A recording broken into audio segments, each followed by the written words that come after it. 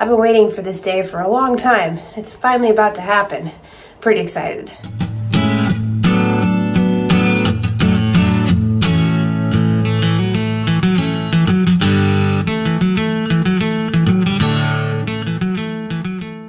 There it is. We just purchased a bunch of stuff from Alibaba.com, and this is the first time I've ever done that, so it's a little hair raising to be ordering a bunch of hardware from China.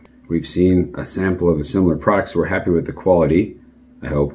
Anything we don't use in the boat will probably just sell on eBay, but I mean, it is expensive as a whole, but the parts themselves were a lot less expensive than we're finding over here. Uh, the push buttons that we were looking at were about 20 bucks a piece and we're getting them for seven or eight. I can't remember, I think it's somewhere in there. So much, much better deal, assuming everything goes well, or it could be a disaster. Keep your fingers crossed. We'll see those in probably about six weeks. Roughly eight weeks later,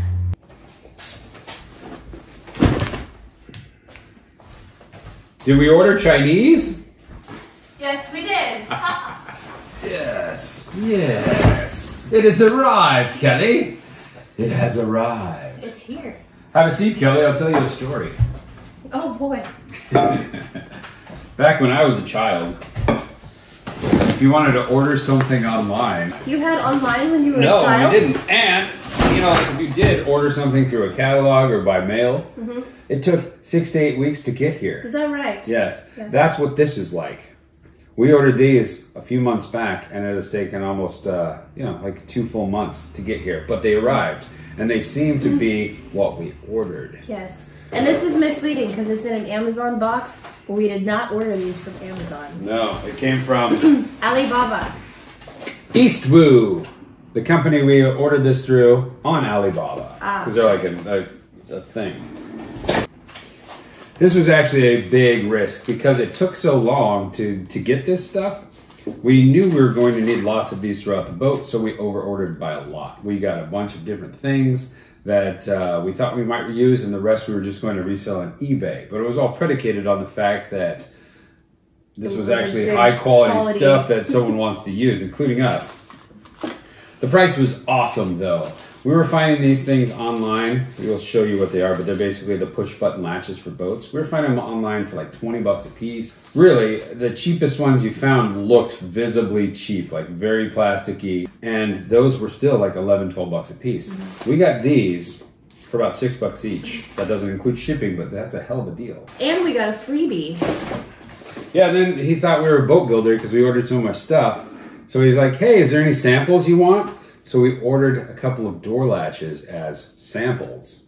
But I mean, they're freaking full on door latches. So if we can use those in the boat, that'll be awesome. So, Kel, let's start with the stuff we got from the good old US of A, which was probably originated in China, and someone just marked it up. Okay. That would be this box and your bag. This bag? That's one.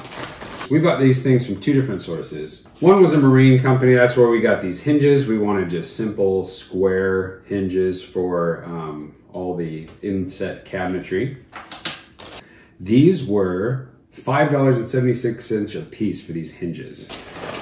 And then we also bought a sample one of these guys, which in all fairness, this is a lot sexier design than the ones we ordered from the Chinese place, but I still like the Chinese one better because the price was a lot less expensive.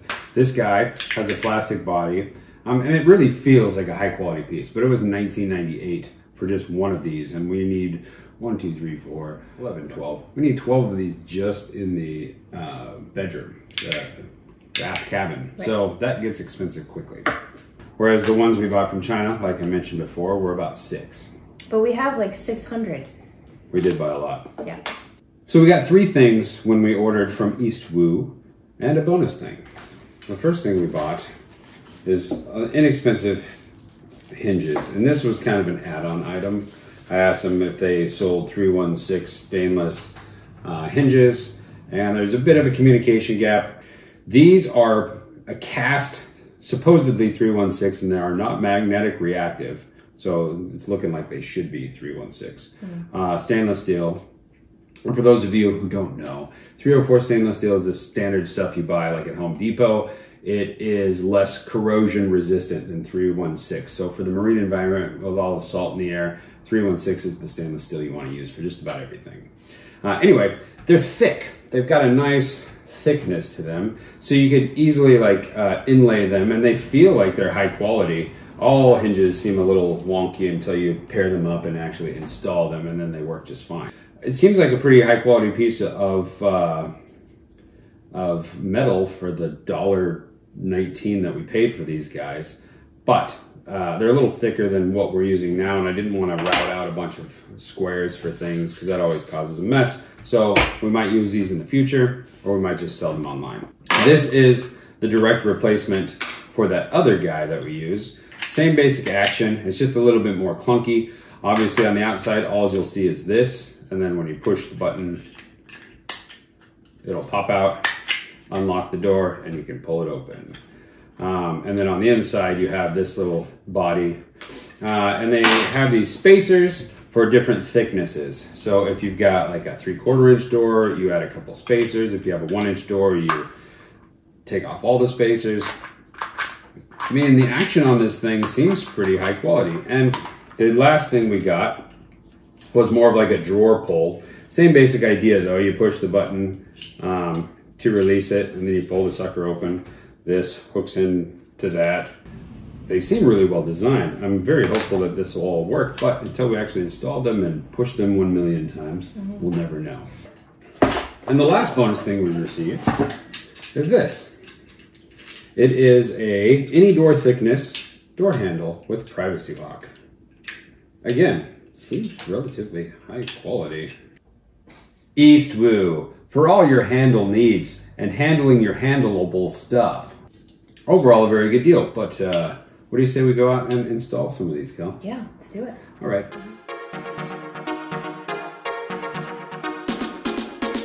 This is going to be our test panel, but I don't want to uh, experiment on these finished pieces. So we're going to take these down cut pieces of plywood to the same dimensions, and then we'll use those as the test panels just in case we make some mistakes.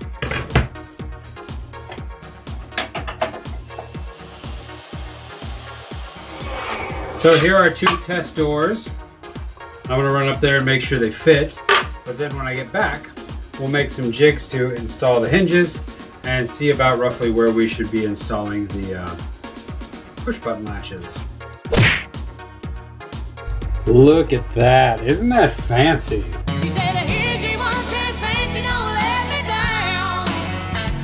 This might be the world's most ugliest uh, little template, but it works. All right, let's give this jig a go.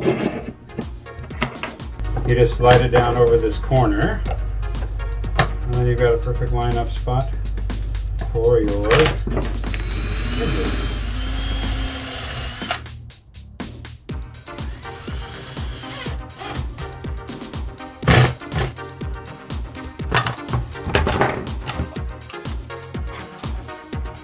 hinges. Now is the real trick.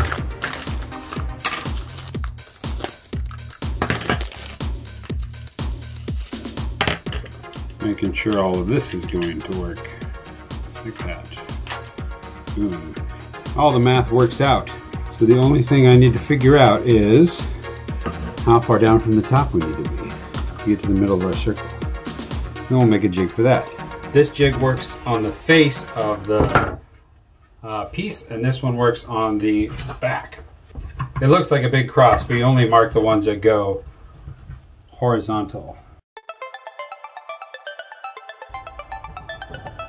Just like that. And you flip around and mark the other ones. Flipping this over, you can see that the middle one will be the big hole for this, and the two sides will be the pilot holes for these screws. So now we need to put holes in these with the hole saw and drill a couple of pilot holes.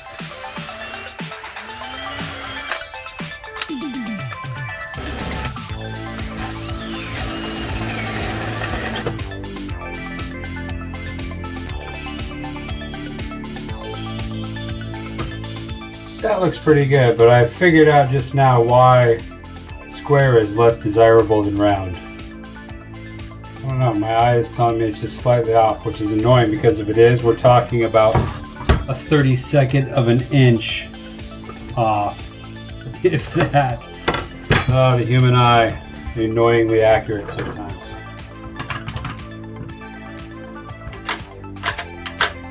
Functionally, it seems to be working. Looks like my pre-planning to get this right up to the edge worked out well. Overall, it looks like it's nice and square-ish. I do have one more trick up my sleeve, and for that, I'm gonna need a deck of cards. My mom used to work for Pepsi, so I have a bunch of Pepsi memorabilia. But I don't like Pepsi. I'm a Coke man. Catch the wave.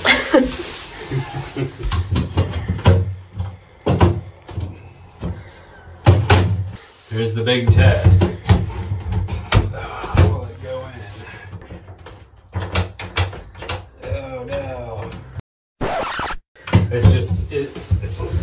Touch too thick to where it's hitting the back of it.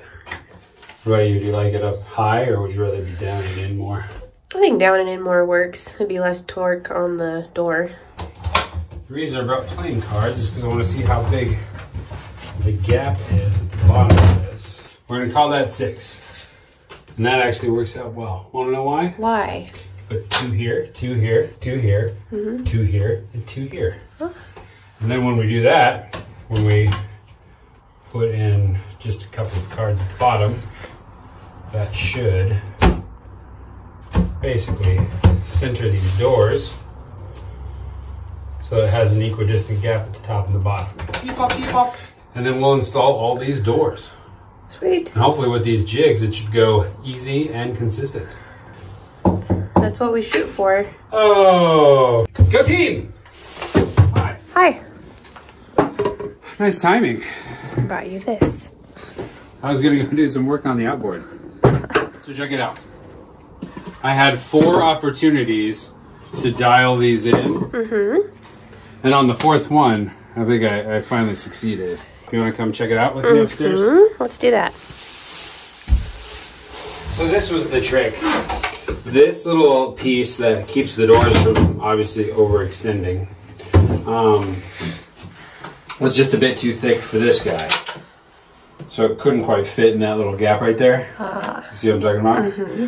So we're going to utilize these, which they came with, so that makes a lot of sense. But I wanted to make it so it stayed nice and tight because you don't want a little bit of play so this rattles or goes click, click, click, click as the boat rocks back and forth. I think I've got that dialed in.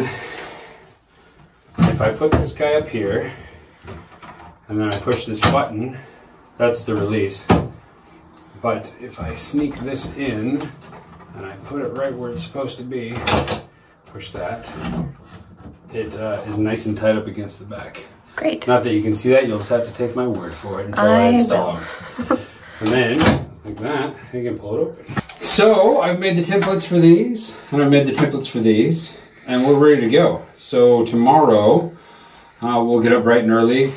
You get to pick which ones go where, because I don't want that responsibility. We'll just do like a little assembly line where we put the hinges on there, put the doors on there. We get one shot to do it right, though, and I really don't want to make a replacement door if I can avoid that.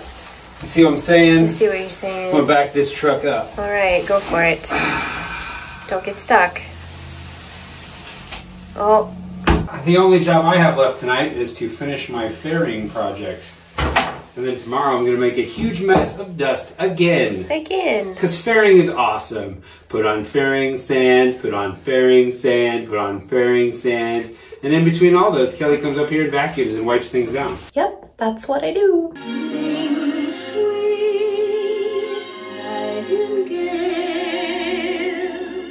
For today's puzzle, my job is to figure out which cabinet doors go to which openings. And they all look like this. They all look exactly the same. There's two panels for each opening, and there are four openings here. Two behind me and two right under you. My job is to figure out which one goes where, and it'll be down to a science. So, wish me luck.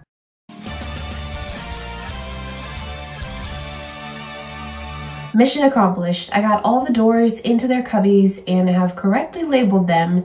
Want to see my cool labeling system?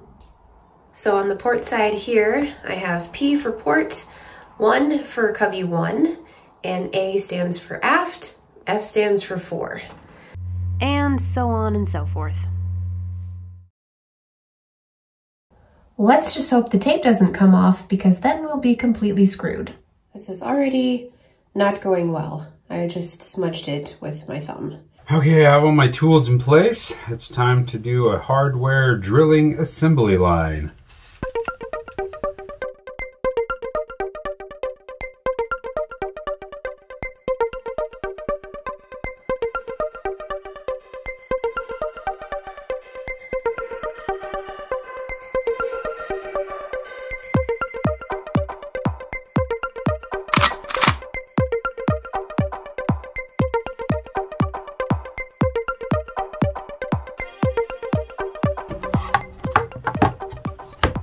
Four left sides, four right sides. Everything came out well.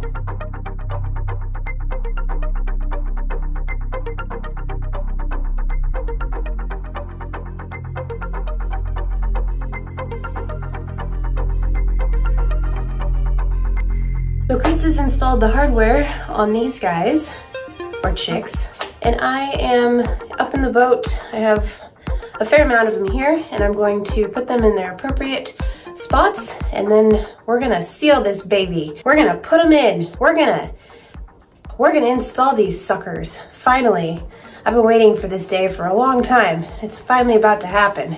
Pretty excited. Success. Got all the cabinet doors aligned with their appropriate cabinet cubby holes. These two pop, these two up, these two up, these ones go right there. All right, we found a handy, helpful hack on the internet where you take candle wax, just generic, ordinary candle wax, and you line whatever surface, in this case it would be the pan over here, the grooves here for the cabinets to be inset on. And that keeps paint from sticking to the other paint. So we don't have weird imperfections. So all we're trying to do is get a nice layer of wax in between the two so the paint doesn't stick. And hopefully not a white residue. Or a residont in our case. Oh, Chris. So that feels pretty good. And then you want to do the edges of the uh, doors themselves. Edge work. Let's call back humor to you. It's edge work? Edge work. Talk about edge work. Is that how that song goes? I guess you invented it. We're talking about edge work. Edge work! That's what we're concerned about right now! You were in a good mood that day. Look at that door! Feels pretty good. Let's install it.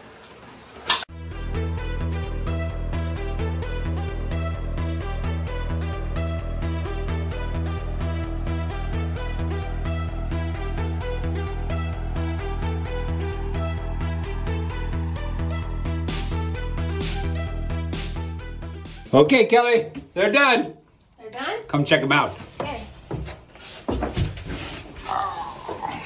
Isn't this exciting? This is exciting. It looks great in here.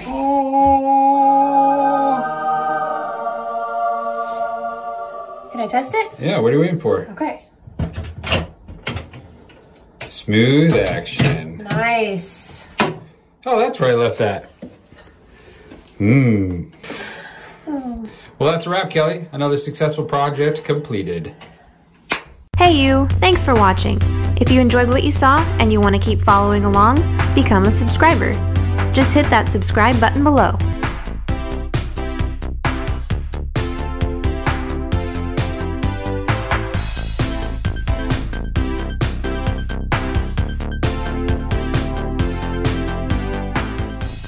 Four drawers and Seven years ago.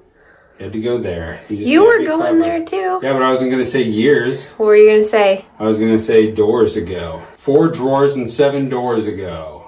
See, it makes sense because we're talking about the hardware here. I see what you're saying. Seven years is how long it's going to take us to refit this boat. Probably. All right. What's next? All right. The sandwich is just all right. It's been sitting in here for an hour, waiting for that gag.